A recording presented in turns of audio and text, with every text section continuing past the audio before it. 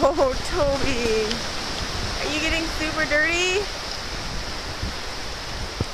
Tuesday's beach run? Oh, Toby!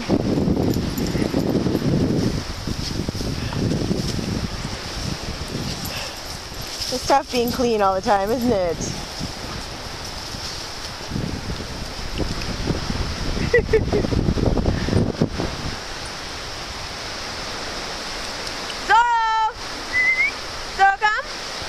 Good boy. That's a good boy.